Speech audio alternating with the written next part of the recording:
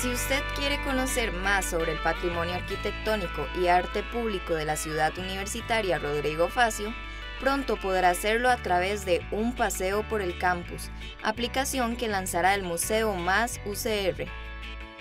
La idea es que esto funcione como una app que la persona puede acceder por medio de, su teléfono celular y entonces puede hacer un recorrido eh, por el campus, por, el campus central, eh, y identificar elementos del espacio público y la app le brinda información histórica o datos interesantes sobre, sobre, estos, sobre estos objetos.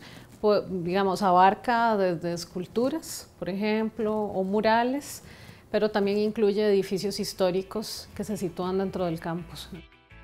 Un paseo por el campus es una iniciativa del museo para acercar a las personas al pasado e historia de la Universidad de Costa Rica. Pero además, actualmente se han construido bases de datos en conjunto con el CIPDI para dar a conocer las colecciones que custodia el museo.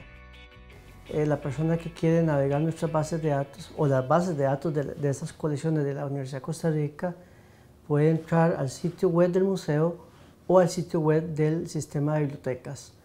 Este, una vez ahí entra a colecciones y se va a encontrar ocho colecciones.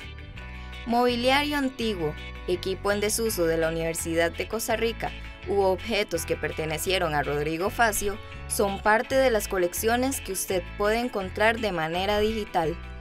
También tenemos bajo nuestra custodia la colección de caricaturas de Hugo Díaz que la universidad eh, adquirió eh, en el transcurso del 2014 al 2015 y hemos estado trabajando en la digitalización de todas las caricaturas em, y en la construcción de la base de datos. Estamos hablando de que es una colección muy rica, está integrada por casi 5.000 ítems.